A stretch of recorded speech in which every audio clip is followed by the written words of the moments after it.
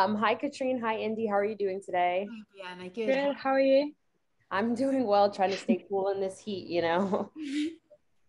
um, so I am a big industry fan. Actually, I was so excited when I got assigned to this junket. Um, I watched last season and I binged as much as I could of this season in preparation. So I'm really excited for you guys to join the show. Um, first, I want to give you guys a chance to tell the viewers a little bit about your characters. Uh, Katrine, would you like to go first? Yeah, sure. So Celeste is uh, uh working at Pierpoint as a uh, managing director of uh, private wealth management. She's up uh, in the penthouse in a Swishy office, and um, she is. Um, yes, a very interesting character. There are lots of sides to her. um, very unexpected at times, um, very playful, very dominant, very manipulating, and sort of in a way old world. You know, she's sort of like she uses what she's got um, to get her way. Um, she's got a very complicated home life um, which influences her in her job. She doesn't come from being wealthy naturally, so he, she's worked her way up with who she is. And um, yes, she was fantastic to play. She's got the most insane wardrobe, shoes, and a name I never want to get rid of.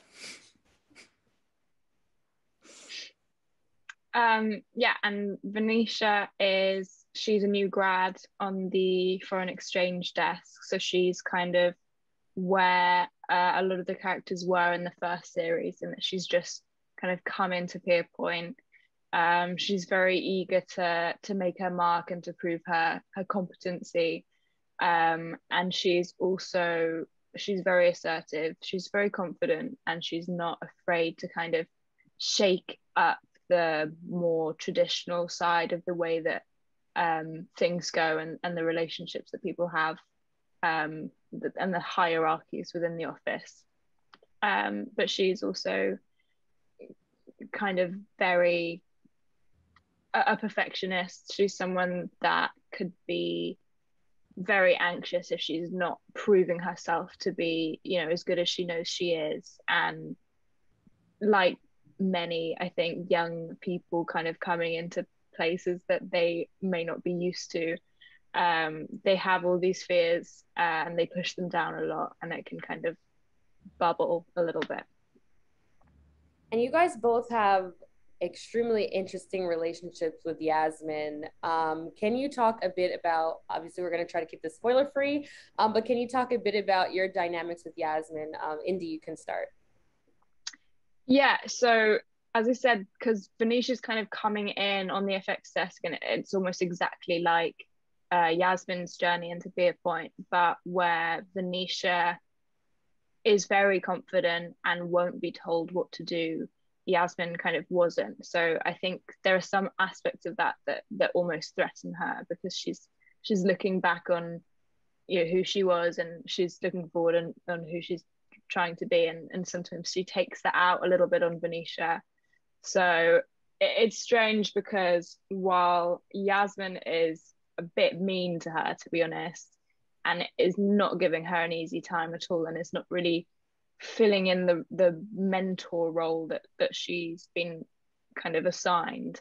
At the same time, Yasmin's kind of strength that she has and and the way that she's kind of moving up and taking what she wants is is something that Venetia also can see as as aspirational. She just doesn't want to get there the same way.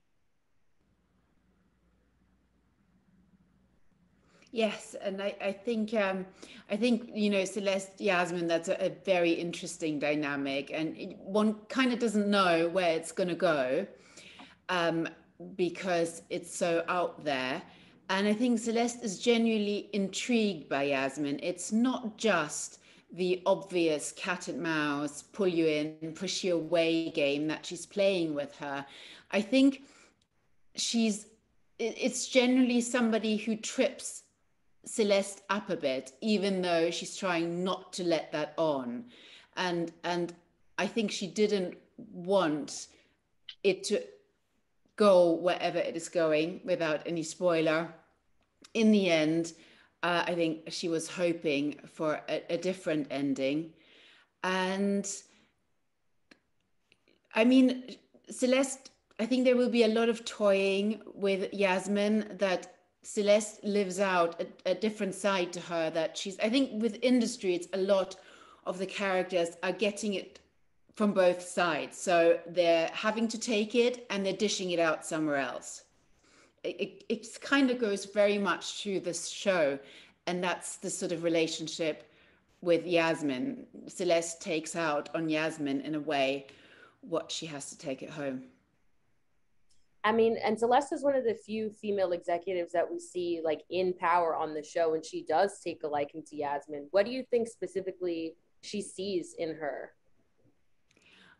I think that that Celeste is fascinated by Yasmin because Yasmin comes from a world that every character has sort of that issue with Yasmin that she does come from money. So Yasmin has got all of this given that Celeste has worked for all her life. So there is a sort of aversion to Yasmin as well as a fascination for Celeste because Celeste has, this does not come from money. Her parents are not wealthy. Uh, she's she's she's a foreigner, and she has worked her way to being a, an executive at Pierpoint and there is Yasmin sort of waltzing in. So, but also Celeste sees just how capable Yasmin is in a way. So there is a kind of like fascination as well as an aversion, which is why I think they get involved in the way they do. Yeah, you have a really interesting scene when they when they meet and she makes a, a really big assumption about uh, who Celeste is. Um, I like that you bring up the point that, you know, Yasmin comes from money and a lot of the characters actually don't. It seems like a big theme this season is earning your place versus being given it. Uh, where do you think your characters stand on that line, on that spectrum? Me? Uh, yeah, you can go first. All right. Well, I, I think, as I said, I think she's earned her place. I think she's worked really hard with everything she's got. She's been using her intellect, her body, her looks, her manipulation, her people skills to get where she is, to get out of where she comes from, and to make it. So I think that Celeste certainly doesn't come from this world, but has a natural affinity for it and, and moves in it very easily. It's sort of her comfort zone. Yeah, and likewise, I think Venetia she she comes from like an immigrant family. She was the only one from her school to get into Oxford. Her whole as someone from a younger generation who's maybe a little bit more kind of aware of of things, I think her whole rhetoric is is earning earning one's place and and the meritocracy that the industry kind of talks about a lot. And I think that that kind of adds to her general kind of anxiety to to prove that she is worth the space that she's taking up. She she really wants to earn her place. Um, and it's something that really drives her, but at the same time frightens her that she's not kind of doing enough to do it. And speaking of Venetia specifically, I mean, she is a, a new graduate. I, you know, last season we had to focus on a lot of graduates, and this season it's really only Venetia's, you know, viewpoint that we're getting in terms of graduates. What does she make of everything that's happening at Pierpoint? I think she's probably come in with a bit of an expectation and has had those met to some degree, but she's she's definitely come in with a lot of force. And she like straight off the back in one of the first scenes that we see with her you know she pulls someone up for saying something a bit inappropriate. And then someone kind of asks her to do something that's not really in her remit. And, and she's very immediate and direct about kind of speaking up about it. And it's something that people aren't used to and people respond very differently to but we can kind of see it helping her get ahead a bit. Um, yeah.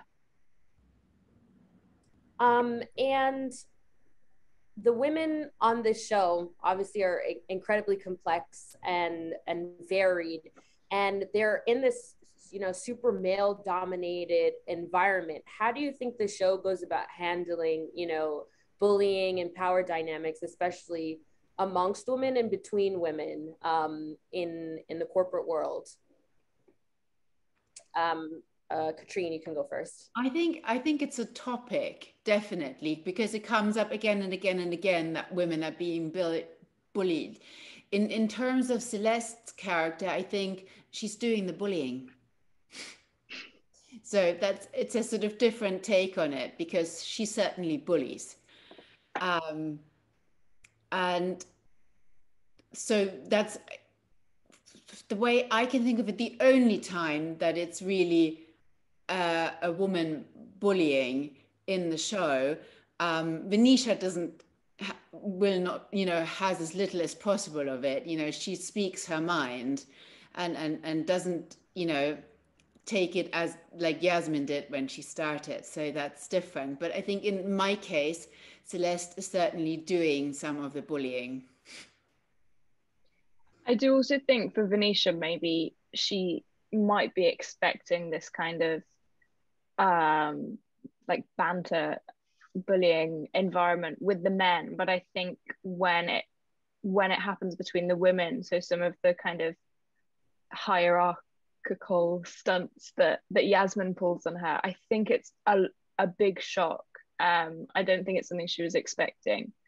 Um, and it kind of reflects in her in her reaction because that I think because as Katrine says, Venetia's very bold. She doesn't really face that much from the men, but the stuff that she faces from I say women, but it's mainly Yasmin is is something that does cut her quite a lot, and she, and she's not entirely sure how to deal with it um, like I said before, so many of the characters on the show are so varied and complex, and a lot of the time their decision making processes are interesting and, and frustrating to watch as a viewer, which makes it so, you know, appealing to continue to watch the show. I mean, what kind of advice would you give to your character if you were able to uh, take them out for a, a, a drink or, or a, a, lunch or a dinner? Um, Indy, you can go first. Um, I think with with Venetia, she on the face of it, she kind of does the right things in response to the situations that she's in, just in terms of you know what what a general protocol might be. But I think my advice to her would be to kind of stand by them and not doubt the kind of directness that she has because a lot of the times specifically in the in the final few episodes there's a lot of doubt and there's a lot of kind of questioning about if she has done the right thing but she needs to be able to stick by herself and and kind of back herself a little bit more. It can't just be about kind of being perfect all the time. She has to kind of back who she is. That would be my little chat to her pet talk. If i could have dinner with celeste i would probably ask her for advice um, but if I'd say anything to her, I'd probably say like maybe stay professional, but she'd probably go like, "Qu'est-ce que tu veux dire? What do you mean?" Yeah, what's the fun in that? what, do you, you, what do you want to you want to tell me something? you know, what's the fun in that? Back off. Um, and I my last question because my time is almost up. Um, what was it like for you guys joining a cast that you know kind of already was set in motion and had things established? Um, Katrine, you can go first. Kind of daunting at first, definitely. I mean, when I first arrived in Cardiff, I was getting into the lift and there they all were and, and and they were all chatting amongst each other and i knew them all from the show because i had binged it beforehand and nobody knew who i was so i was just standing there going like you know i'm in the show with you but you don't know that yet so it was daunting but they were so welcoming from day one that it ended up just being the absolute joy that it was. Yeah, it was such a nice environment to work in, um, like because of the cast. And yeah, it was a bit it was a bit daunting at first, especially because you could tell that they had like really come up together because a lot of them were quite new when they started out and they they'd really bonded.